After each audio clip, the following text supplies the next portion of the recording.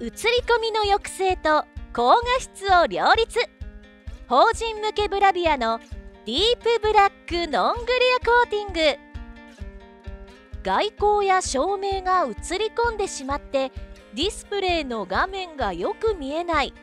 何が映っているのかわからない。そんなことはありませんか？法人向けブラビアのディープブラックノングレアコーティングなら映り込みを抑えながら伝わる高画質を実現します。左が一般的なパネルの BZ30L 右がディープブラックノングレアコーティングを採用している BZ40L になります。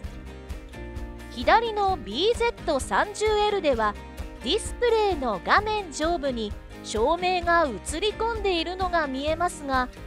右の BZ40L では画面に照明が映り込んでいません。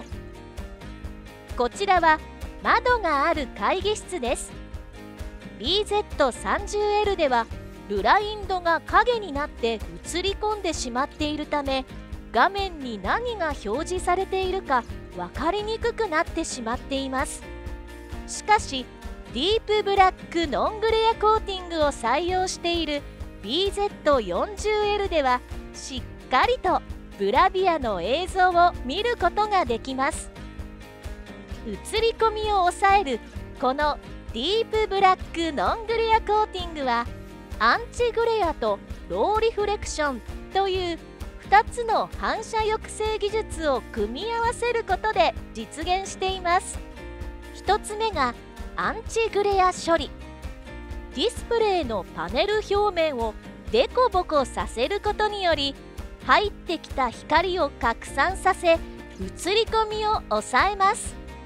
この時入ってきた光をどれぐらい拡散させているのかという値がヘイズ値になり数値が大きいほど反射像がぼやけ映り込み感が軽減します。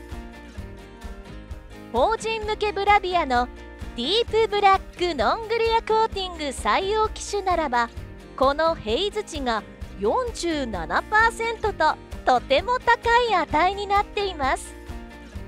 画面にライトを当てても光が拡散されているのが分かります。ただ一般的にヘイズ値が高いだけでは光を拡散させているため画面が白っぽくなる傾向があります。しかし法人向けブラビアのディープブラックノングレアコーティングは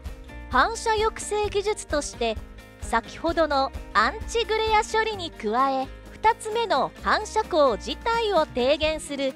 ローリフレクション低反射処理を実施。入ってきた光を拡散させつつも光の反射量を抑えるため映り込みを抑えながらも色味が薄くなったりなどせず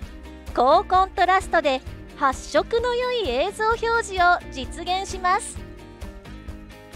法人向けブラビアのディープブラックノングレアコーティング採用機種であれば映り込みを抑えたまましっかりと情報を伝えることができるので